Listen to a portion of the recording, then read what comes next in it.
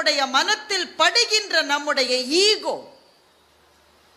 எந்த சண்டைகளையும் சமாதானம் என்ற ரேஞ்சுக்கு எடுத்து போக முடியாதபடி செய்கிறது. இவன் மனுஷனுக்கும் மனுஷனுக்கு தானடா சண்டை போறேன்னா மனுஷன் இயற்கையோட போய் சண்டை போறான் இவனை விட பைத்தியக்காரன் இருக்கவே முடியாது. எது ஜெயிக்கணும் உனக்கு தெரியலையாடா? நீ ஐநூறு மரத்தை வெட்டுற நீ நினைக்கிற நீ மரத்தை ஜெயிச்சிட்டேன்னு. நீ உன்னுடைய சந்ததிக்கு கிடைக்க வேண்டிய நீரை குறைத்து விட்டாய் என்பது மரத்துக்கு தெரியும். அவங்க அழகா ஒரு கதை சொன்னாங்க டோடோ பறவையை பற்றி. சொன்னாங்கல்ல கேட்டிங்களா இல்லையா? கொழு கொழுன்னு இருக்கிற டோடோ பறவைய கொன்னு கொன்று தின்னாங்களாம். கடைசியில் பார்த்தா அந்த பகுதியில் வர வர்ற ஒரு தாவரம் அதற்கு பிறகு வளரவில்லை. இயற்கை ஒன்றோடு ஒன்று இணைந்தது. இதை புரிந்து கொள்ளாத ஒரே உயிரினம் மனிதன் மாத்திரம்தான். இதை பற்றி ஜெயமோகன் அருமையான ஒரு கதை எழுதியிருக்கிறார். சுருக்கமாக சொல்கிறேன் அந்த கதையை. ஏன்னா புத்தக திருவிழாவுக்கு பேச வந்துவிட்டு எழுத்தாளர்களினுடைய கதைகளை சொல்லாமல் நாங்கள் வேறு எதை சொல்லுவது? ஜெயமோகன் அருமையான ஒரு கதை எழுதியிருக்கிறார். ஒரு பயங்கரமான சயின்டிஸ்ட் அவரோட மனைவியும் சயின்டிஸ்ட் அந்த அவருடைய அப்பாவும் சயின்டிஸ்ட் அப்பாவும் மகனும் எதை பற்றி ஆராய்ச்சி செய்கிறார்கள் என்றால் பேர்ட் மைக்ரேஷன். பறவைகள் வலசை போவதுன்னு சொல்லுவாங்கல்ல நீண்ட தூரம் பறந்து வருகின்றன பறவைகள். நம்ம படிச்சிருக்கீங்களாம்மா? எல்லாருமே முறைச்சி பார்க்குறீங்க பிள்ளைங்கள யாராவது கூப்பிட்டு உட்காந்து வச்சுட்டாங்களா வலுக்கட்டாயம்மா ஆ. ஒரு சிரிப்பை காணுமே முகத்தில். ஆ. இந்த ஆண்டி என்னைக்கு முடிச்சு நாங்கள் எப்போ பஜ்ஜியை சாப்பிட்டு அந்த ரெஞ்சில் இருக்கு. பரவாயில்ல வந்து சேர்ந்துருவாங்க அப்புறமா. பேர்த் மைக்ரேஷன் பற்றி ஆராய்ச்சி செய்கிறார் மகன். அவருக்கு முக்கியமான கேள்வி என்னன்னா பறவைகள் ஏன் இவ்வளவு தூரம் பறக்கிறது? அதை முட்டையிட்டு குஞ்சு பொறிப்பதை ஏன்? உங்கள் வீட்டுக்கு பக்கத்துலேயே செய்யுமா அதை? நீ இருக்கிற மரத்துக்கு பக்கத்துலேயே நீ முட்டையிட்டு குஞ்சு பொறிக்க மாட்டியா நீ? நீ எதுக்காக பத்தாயிரம் கிலோமீட்டர் பறந்து வருதுங்க? ஆர்டிக் டர்ன்னு ஒரு பேர்டு இருக்கு. வட துருவத்திலிருந்து தென் துருவம் மாத்திரம் பறந்து வருது. சயின்டிஸ்டுக்கு புரியவே இல்லை. எதுக்காகடா இவ்வளோ தூரம் வரீங்க? ஓ நீ இருக்கிற இடத்துக்கு பக்கத்திலே செய்ய மாட்டேன் இதற்கான கேள்வி இன்றைக்கு கூட விஞ்ஞானிகளுக்கு தெரியவில்லை. ஏன் அவ்வளவு தூரம் பறந்து வருதுன்னு தெரியல. அதை விட பெரிய கேள்வி என்னன்னா பாதையே மாறாம வருதுங்க. நம்ம ஆளு கூகுள் மேப் வச்சுக்கிட்டே அந்த அம்மா வ- வடக்குல திரும்ப சொன்னா தெற்குல திரும்புறோம் ஆனா கூகுள் மேப் அம்மா நல்ல அம்மா. திட்டவே திட்ட சொல்லிக்கிட்டே இருக்கும். Take a U turn now take a U turn now டீக்கு இவன் நேராக போவான். அது திட்டுது அவனை. அறிவு இருக்கா? நான் வந்து சொல்கிறேன்ல யூட்டர் எடுன்னு சொல்கிறேனே நான். உனக்கு உனக்கு மண்டையில் ஏதாவது இருக்கு அது கேட்குதா இல்லை. Go for another five and half kilometres and then take a U turn இதுவே வீட்டம்மா இருந்தால் என்னென்ன திட்டிருக்கோம்? நான் தான் சொல்கிறேன்ல திரும்புன்னு. ஒருத்தர் பேச்சை கேட்கறது உன் தலைமுறையிலே யாருக்கு இல்லை. உன் குடும்பத்திலே யாரும் கேட்க மாட்டாங்க. உங்க அப்பா அம்மா உன்னை சரியா வளர்த்துருந்தா நீ இந்த மாதிரி இருந்திருப்பியா? பரம்பரையே மானக்கேடு உண்டாக்கும். ஆனால் கூகுள் அக்கா யாரையுமே திட்டாது. நல்ல அக்கா அது கூகுள் மேப் அக்கா நல்ல அக்கா. இப்போ இந்த பறவைகளுக்கு என்ன கூகுள் மேப் இருக்கு? சார் ஒரு போர்டு இருக்கா? கடலுக்கு மேலே பறக்குது சார். ஒரு மேப் இருக்கா? ஒரு போர்டு இருக்கா? என்ன சார் இருக்கு? இப் பத்தாயிரம் கிலோமீட்டர் பறக்கிற ஒரு டைரக்ஷன் கிடையாது. So this question is always puzzle the scientist எப்படி வழியை கண்டுபிடிக்கிறாங்க? இந்த பையன் அதை பற்றி தான் ஆராய்ச்சி பண்ணுறாரு பையனுக்கு ஒரு மனைவி இருக்காங்க. அந்த அம்மா தீவிரமாக ஆராய்ச்சி எதை பற்றி என்றால் மீன்களை பற்றி ஆராய்ச்சி செய்கிறவர்கள். நல்ல குடும்பம். ஏன்னா கணவன் மனைவி சந்திச்சிக்கவே முடியாது. அந்த குடும்பம் நல்ல குடும்பமாக இருக்கும். இவர் பேர்ட்ஸை பற்றி ஆராய்ச்சி பண்ணுறதுனால இவர் வேற ஒரு இடத்துல இருக்கார். அந்தம்மா ஃபிஷ்ஷை பற்றி ஆராய்ச்சி பண்ணுறதுனால கடல் ஓர பகுதிகளில் தான் அந்தம்மா இருக்கும். சந்திச்சுக்கவே மாட்டாங்க. எப்போவாவது ஒவ்வொரு தடவை சந்திச்சுப்பாங்க. இந்த பையன் ப- பையன் சொல்கிறான் அப்பா நான் கண்டுபிடிச்சிட்டேன்ப்பா. இந்த பேர்ட்ஸ் வந்து டைரக்ஷன் எப்படி தெரியுமா கண்டுபிடிக்குது? மனித கண்கள் அவ- அதுக்கு இல்லை. But there are invisible infrared ray fields in the atmosphere infrared கதிர்களினால் உருவாக்கப்பட்ட ஒரு ஃபீல்டு வந்து வாயுமண்டலத்தில் இருக்கிறது. மனித கண்களுக்கு அது தெரியாது. ஆனால் பறவைகளுக்கு அது தெரியும். இந்த இன்ஃப்ராரெட் ஃபீல்ட்ஸில் இருக்கிற வழியை வச்சுக்கிட்டு தான் அது இவ்வளவு தூரம் பறக்கிறது. நான் என்ன பண்ண போறேன்? இதை நான் கண்டுபிடிச்சேன்றதை ப்ரூவ் பண்ணணும். இப்போ விஞ்ஞானிக்கு எது முக்கியம்? கண்டுபிடிச்சது முக்கியம் இல்லை. நீ தான் கண்டுபிடிச்சேன்னு முதல்ல ப்ரூவ் பண்ணி பேட்டன்ட் வாங்கினா தான் துட்டு தேரும் அவனுக்கு. ஃபஸ்ட்டு அதை தான் செய்யணும். நான் இதை ப்ரூவ் பண்ண போகிறேன் என்னம்மா அங்கே பிரச்சனை?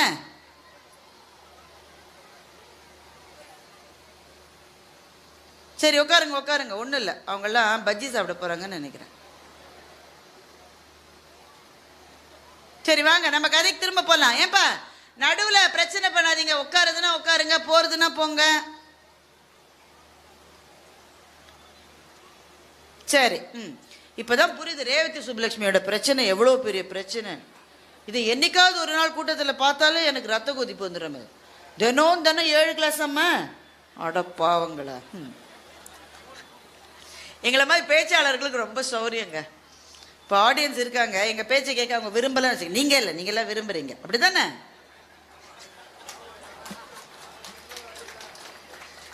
தமிழ் வளர்த்த மதுரையில் மதுரைக்கு வந்த சோதனை. பாண்டிய நாடே என் பாட்டுக்கு அடிமை. சரி. ம். பேச்சாளர்களுக்கு என்னன்னா ஆடியன்ஸ் வந்து எங்க பேச்சை கேட்க தயாரா இல்லைன்னு வச்சுக்கோங்களேன். நாங்க என்ன செய்வோம்னு நினைக்கிறீங்க? சரிங்க நன்றி வணக்கம்னு போயிடலாம் ஆனால் ஆசிரியர்கள் பாவம். ஒரு நாளும் அவர்கள் பேச்சை கேட்க விரும்பாத ஆடியன்ஸுக்கு மத்தியிலேயே வாழ்நாளெல்லாம் பாடம் நடத்தி கொண்டே இருக்கிறார்.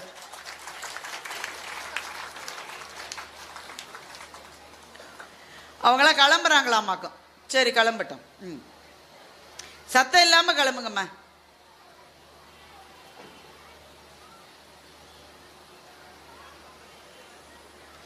சரி கதைக்கு திரும்ப வருவோமா? இது வந்து ஒரு தவறான முறை. சொல்கிறேன் தப்பா எடுத்துக்காதீங்க. ஒரு பேச்சாளரனுடைய பேச்சுக்கு நீங்கள் வந்து முழு பேச்சையும் கேட்க உங்களுக்கு நேரம் இல்லை என்றால் அந்த அரங்கத்தில் நீங்கள் அமரக்கூடாது. அதற்காகத்தான் நான் பேச ஆரம்பித்த போதே சொன்னேன் எனக்கு கிட்டத்தட்ட ஐம்பது நிமிடங்கள் நேரம் கொடுக்கப்பட்டிருக்கிறது என்று சொன்னேன்.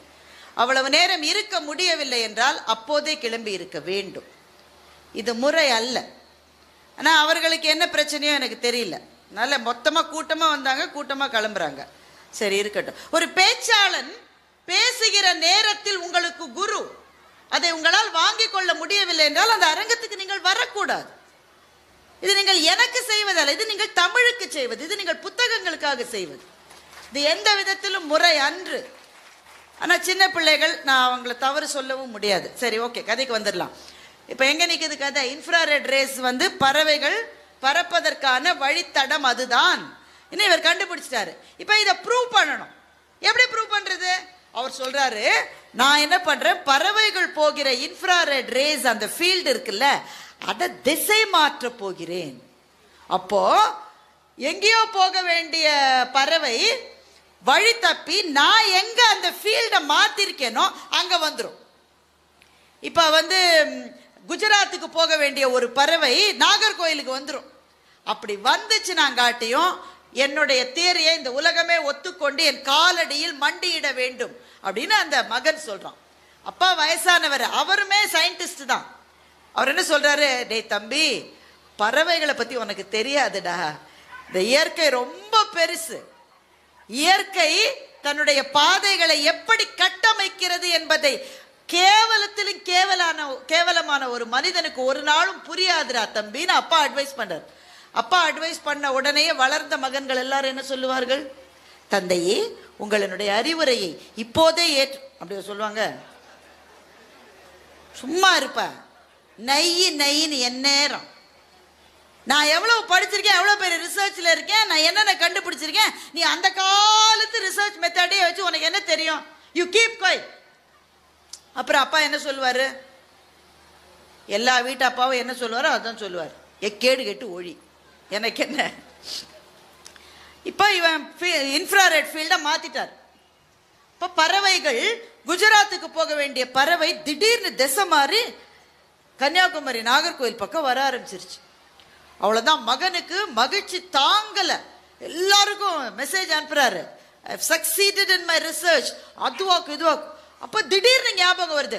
எல்லாருக்கும் நான் என்னுடைய வெற்றியை பற்றி சொன்னேன். ஒரு முக்கியமான ஆளுக்கு என்னோட வெற்றியை பற்றி சொல்லலையே. என் மனைவிக்கு இன்னும் சொல்லலையே. என் மனைவிக்கு ஃபோன் பண்ணுறாரு மனைவி சொல்கிறாங்க நான் வீட்டு வாசலில் தான் இருக்கேன். எப்பம்மா வந்து நீ? நான் வந்து ஜெயிச்சிட்டேன்றதை செலிப்ரேட் பண்ணுவேன். நான் நீ ஜெயிச்சிட்டேன்றதை நான் ஏன் செலிப்ரேட் பண்ணுவேன் நான் அதுக்கு வரல. பின்ன எதுக்கு வந்தேன் திடீர்னு ஒரு புதிய சம்பவம் நிகழ்ந்திருக்கிறது மீன்கள் உலகத்தில். அதை பற்றி ரிசர்ச் பண்ணுறதுக்காக இங்கே வந்திருக்கேன். ஏன்னா அந்த அம்மா வந்து ஃபிஷ்ஷை பற்றி ரிசர்ச் பண்ணுற சயின்டிஸ்ட் மீன்கள் உலகத்தில் என்ன சம்பவம் நடந்திருக்கிறது? குஜராத் கடற்கரையிலே இருக்க வேண்டிய பல மீன்கள் அவ்வளவு தூரம் நீந்தி கன்னியாகுமரி கடற்கரைக்கு வந்திருக்கிறது. என்ன காரணம்னே எங்களுக்கு புரியல. இதெல்லாம் குஜராத்ல இருக்கிற எப்போ வழக்கமா இருக்கிற மீன். திடீர்னு கூட்டம் கூட்டமா கிளம்பி லட்சக்கணக்கான மீன்கள் குஜராத்தில் இருந்து கன்னியாகுமரிக்கு வந்திருக்கு. எதுக்கு வந்ததுன்னே எங்களுக்கு தெரியல. அதை பத்தி ரிசர்ச் பண்றதுக்காக இங்க வந்திருக்கோம். ஆனா அது எதுக்கு வந்ததுன்றது சயின்டிஸ்டுக்கு தெரியும் தானே இயற்கையினுடைய பாதைகள் நம்மால் ஊகிக்கக்கூடிய பாதைகளே அல்ல. மீன்கள் ஒரு இடத்துக்கு போகிறது என்றால் யார் ஒவ்வொரு பறவைகள் ஒரு இடத்துக்கு போறதுன்னா ஒவ்வொரு மீனுக்கும் யார் எஸ்எம்எஸ் அமிச்சது மச்சான் நீ அங்க போயிரு. நம்பால அங்க வர. யார் சொன்னது? ஆனால் இயற்கையினுடைய பாதைகள் நம்மால் ஊகிக்க முடியாதவை. அதுதான் அந்த டோடோ கதையில இருந்ததும் அதுதான். ஜெயமோகன் எழுதிய இந்த கதையில் இருப்பதும் அதுதான். இலக்கியம் நமக்கு எதை தருகிறது என்றால் டோன்ட் மெஸ் வித் நேச்சர் இயற்கையோடு நீ உன்னுடைய கையை வைத்து ஒரு மரத்தை நீ வெட்டினால் கூட உன் தலைமுறையில் யாரோ ஒருவர் அதற்காக கஷ்டப்படுவார் என்ற பாடத்தை இயற்கை சொல்லாமல் சொல்லுகிறது. நம்மால புரிஞ்சுக்க முடியல. அதை சில எழுத்தாளர்கள் நமக்கு சொல்லுகிற போது அதை பற்றி சிந்திக்க ஆரம்பிப்போம் இல்லையா? அதுதான் எழுத்தினுடைய வெற்றியாக இருக்கிறது. இந்த அரங்கத்துக்கு நான் வருகிற போது நேத்ரா என்கின்ற ஒரு பெண்ணை சந்தித்தேன். சின்ன பொண்ணு படிக்கிறாங்கன்னு நினைக்கிறேன். என்னுடைய புத்தகத்தை வாங்கியிருந்தாங்க. அது ஒரு அரிதான நிகழ்வு அல்லவா அதனால் எனக்கு ரொம்ப மகிழ்ச்சியாக இருந்தது. கையெழுத்தெல்லாம் போட்டு கொடுத்தேன். நேத்ரா என்கிட்ட கேட்டாங்க ஒரு புத்தக கண்காட்சியில் நீங்கள் பேசுகிற போது the bite of a mango என்கின்ற கதையை பற்றி நீங்கள் சொன்னீங்க. அந்த புத்தகம் எங்கே கிடைக்கும்னு எனக்கு சொல்லுங்கன்னு சொன்னேன். எனக்கு ரொம்ப மகிழ்ச்சியாக இருந்தது. ஏன்னா அந்த கதையை சொல்லுகிற போது அதை ஒருவர் தேடி போவார் என்று நினைத்து நான் சொல்லவில்லை. ஆனால் எங்கேயோ தூவப்பட்ட விதை ஏதோ ஒரு மழையிலே முளை முளைத்து எழுவது போல யாரோ ஒரு எழுத்தாளரினுடைய சிந்தனையை ஏதோ ஒரு பேச்சிலே நான் சொல்ல போக அந்த புத்தகத்தை தேடி ஒரு இளம்பெண் புறப்பட்டு இருக்கிறாள் என்றால் அதுதான் எழுத்தை தேடி புறப்படுகிறவர்களினுடைய பாதை அப்படித்தான் இருக்கும். தூங்க முடியாதுங்க.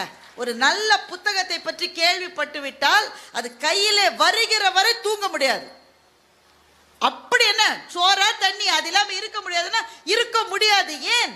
அது என் ஆன்மாவினுடைய ஜன்னலை திறந்து வைக்கிறது ஒரு நல்ல புத்தகம். The bite of a mango என்ற புத்தகத்தை எழுதியவர் அரியாட்டு கமாரா என்கிற ஆப்பிரிக்க நாட்டை சேர்ந்த ஒரு பெண். ஆப்பிரிக்காவில் பல நாடுகள் இருக்குங்க உங்களுக்கு தெரியும். அல்ல சில நாடுகளில் இனக்குழுக்களுக்குள்ளே இருக்கிற போராட்டங்கள் ரொம்ப கொடூரமா இருக்கும். நம்முடைய பழங்குடி சமூகத்தினுடைய போர்கள் கூட அப்படித்தான் இருந்தது. புறநானூற்றில் சில பாடல்களை படித்தா நம்ம லியோவை விட வயலன்ஸ் காட்சிகள் அதிகமா இருக்கும். பார்த்துட்டீங்களாம்மா? நம்ம என்ன ஆசிரியர் நீங்கள்? உங்கள் பிள்ளைகள் செய்வதையெல்லாம் நீங்கள் செய்யவில்லை என்றால்? நாளைக்கு போறாங்க. சரி நாளைக்கு தான் டிக்கெட் கிடைச்சது. பயங்கரமா வயலன்ஸ் இருக்கும். தோற்ற எதிரி நாட்டு மன்னனுடைய பல்ல புடுங்கி ப- அவன் உயிரோடு இருக்கும்போது செத்தப்புறம் இல்லை. பல்ல புடுங்கி தன்னுடைய கோட்டையிலே நட்டு வைத்திருக்கிறான் ஒரு அரசன். புறநானூற்றில் இந்த செய்தி இருக்கிறது. இதை விட என்ன வயலன்ஸ் இதை விட வயலன்ஸ் இருக்க முடியுமா? ஆனால் சிறு பழங்குடி இன மக்களுக்குள் போர் நடக்கிற போது அப்படிதான் அது கொடூரமாக தான் இருக்கும். ஆப்பிரிக்காவில் இன்னமும் கூட அந்த மாதிரியான போர்கள் சில இனக்குழுக்கள்கிட்ட இருக்கு. அவங்க என்ன செய்வாங்கன்னா நம்ம ஊர்ல பல்ல பிடிங்கின மாதிரி அந்த ஊர்ல என்ன செய்வாங்க? யாரெல்லாம் இந்த சைடு ஆட்களோ அவங்க கையில கிடைச்சா மணிக்கட்டோடு ரெண்டு கையையும் வெட்டிடுவாங்க. இப்படி கையை கட்டி போட்டு ரெண்டு கையையும் மணிக்கட்டோடு வெட்டிடுவாங்க. நான் உண்மையிலேயே ஆப்பிரிக்க நாடுகளுக்கு பயணம் போன போது சில விமான நிலையங்களில் மணிக்கட்டு வரை மாத்திரமே கைகள் இருந்த பல பேரை நானே நேரில் சந்தித்திருக்கிறேன். பார்த்தாலே நமக்கு வந்து உதறும். மரியாட்டு கமாரா ஒரு சிறு கிராமத்திலே வாழ்ந்த ஒரு இளம் பெண். வெறும் பதினஞ்சு பதினாறு வயசு குழந்த. பொண்ணுன்னு கூட சொல்ல முடியாது குழந்த. பிஞ்சு. அவங்க கிராமத்தில் சண்டை நடக்குதுன்னே அதுக்கு தெரியல. அது வழக்கம் போல தண்ணி எடுத்துட்டு வந்து திரும்பி வரும்போது பார்த்தா அதுக்குள்ள சண்டை வந்து ஒத்தனை ஒத்த வெட்டி சாச்சு இந்த பொண்ணை பார்த்த உடனே அவனுக்கு தெரிஞ்சிச்சே அந்த இனத்து பொண்ணு. வெட்டு. என்ன ஏதுன்னு அந்த பொண்ணு யோசிக்கிறதுக்குள்ளேயே கையில் இருக்கிற அந்த தண்ணீர் மொள்ளுகிற பக்கெட்டோ குடமோ அதை தூக்கி எரிஞ்சிட்டு கையை இப்படி வச்சு ஒரே வீச்சு. இப்போ ஜெயிலர்ல தலைவர் அறிவார். அதே மாதிரி ஒரே வீச்சில் ரிஸ்டோட ரெண்டு கையும் போயிருச்சு. அந்த பொண்ணு விழுந்து கிடக்குறா. என்ன செய்யறதுங்க இப்போ? ரத்தம் போய்கிட்டே இருக்கு. அந்த பெண்ணுக்கு தண்ணி தேவையா இருக்கு. தண்ணி இருக்கு பக்கத்துலயே நதியில தண்ணி போகுது. எப்படி எடுத்து சாப்பிடுவீங்க? கை இல்லாம என்ன செய்ய முடியும்? அந்த பெண்ணு கதறி அழறார். ஒன்றரை நாள் அப்படியே கடந்திருக்க. ஒன்றரை நாள். முப்பத்தாறு மணி நேரம் அப்படியே கடந்திருக்கு. அந்த வழியா ஒருத்தன் போறான். போல ஓடுறான். அவன் உயிருக்கு பயந்து அவன் ஓடிட்டு இருக்கான். அவனை பார்த்து இவ கெஞ்சுறா. சகோதரா எனக்கு ஏதாவது சாப்பிட கொடு பசிக்குது நான் செத்துடுவேன்னு கத்து இது பண்ண. அவன் நின்று அவன் கையை வெட்டிடுவான். அவன் போகிற போக்கில் என்ன பண்ணா அங்கே ஒரு மாமரம் இருந்தது. அதில் ஒரு மாங்கனி பழுத்து தொங்கியது. அந்த மாம்பழத்தை பறித்து அவள்கிட்ட எரிஞ்சிட்டு அவன் ஓடி போயிட்டான். ஏன்னா அவன் நிற்க முடியாது. அவன் உயிருக்கு ஆபத்து. கைகள் இல்லாமல் உந்தி உந்தி போய் தன்னுடைய வாயால் அந்த மாங்கனியை கவ்வி கவ்வி மிருகங்கள் உண்பது போல அந்த பெண் உண்டாள். இந்த மாங்கனியை உண்ட பிறகு அவள் உயிர் நிலை பெற்றது. அப்புறம் அப்படியே உந்தி உந்தி போய் அப்புறம் கொஞ்ச நேரம் கழிச்சு எந்திரிச்சு நின்று அங்கே இருக்கிற மருத்துவமனைகள் உண்டு. டாக்டர்ஸ் வித்தவுட் பார்டர்ஸ் என்று அவர்களை சொல்லுவார்கள். எந்த நாட்டுக்கும் சொந்தமில்லாதபடி மொத்த மானுடத்துக்கும் உதவக்கூடிய மருத்துவர்கள். அந்த முகாமுக்கு போய் அவங்க அந்த இரத்த பெருக்கை கட்டுப்படுத்தி அவளை இது பண்ணி இன்றைக்கு மரியாட்டு கமாரா டொரண்டோவில் வசிக்கின்றார். கால்லயே வந்து ஒரு புக்கே எழுதிருச்சு. காலில் பேனா வச்சுக்கிட்டு.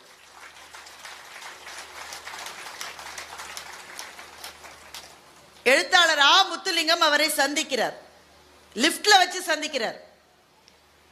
இவர் போக வேண்டிய ஃப்ளோர் பட்டனை இவர் அமுத்திட்டாரு. அந்த பொண்ணு என்ன செய்யும்? அந்த அம்மா ஒரு மா- ஒரு மாடிக்கு போகணும்னு வச்சுக்கோங்களேன். பதிமூணாம் மாடின்னு வைங்க. லிஃப்ட்டில் அது மேலே வச்சுருப்பான். இது என்ன செய்யுது அலட்சியமா காலை தூக்கி கால் கட்டை விரலால் லிஃப்ட் பட்டனை அமுக்குகிறாள் மரியாட்டு கம்மாரா. வாழ்க்கையில் கஷ்டம்னு சொல்றீங்களா? என்ன கஷ்டம்? ஒன்னே கால் மணி நேரமா பஸ் வரல. எங்க அம்மா எனக்கு இன்னைக்கு சோறு சரியாவே செய்யலை. எங்கள் டீச்சர் ஓயாமல் படி படின்னு உயிர் எடுக்கிறாங்க. மன உளைச்சலாக இருக்கிறது என்று சொல்லுகிற இளைஞர்களுக்கும் இளம் பெண்களுக்கும் நான் கேட்கிறேன் மன உளைச்சல்னா என்னன்னு தெரியுமா உங்களுக்கு? என்னன்னு தெரியுமா? நான் கேட்குற சூரிதாரே எங்கள் அப்பா வாங்க வாங்கி தரல. என்னை எங்கள் அம்மா வந்து ஃபோன் பார்க்க விட மாட்டேன்றாங்க. எனக்கு பிடிச்ச சீரியலை என்னால் பார்க்க முடியல. தற்கொலை! எவ்வளோ தற்கொலை பண்ணுவேன் என்ன காரணத்துக்காக? என்ன காரணத்துக்காக? ப்ளூ கலர் சூரிதார் கடைக்கலியாமா இந்த மாதிரி மனநிலை இருப்பது தவறுன்னு சொல்றதுக்கு நான் வரல. ஏன்னா அந்த வயது அப்படி.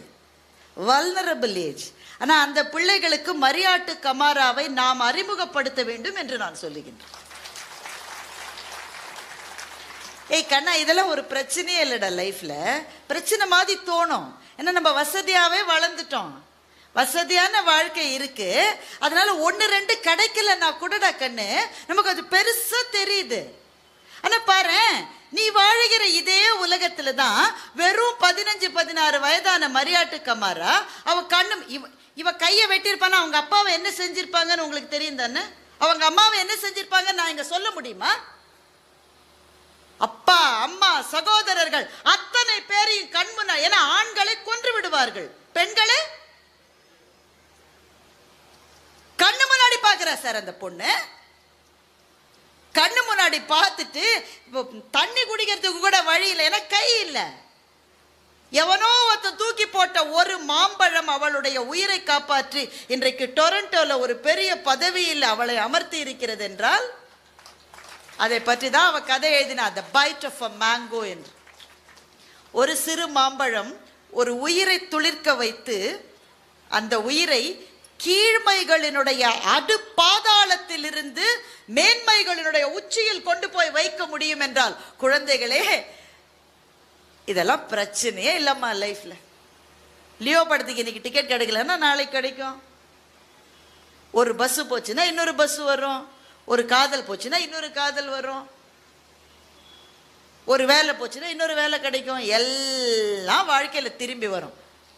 ஒன்றே ஒன்று தான் திரும்பி வராது. நீ பயந்து தற்கொலை பண்ணிக்கிட்டேன்னு வச்சுக்கோ உங்கள் அப்பா அம்மாவனுடைய சந்தோஷம் திரும்பி வராது.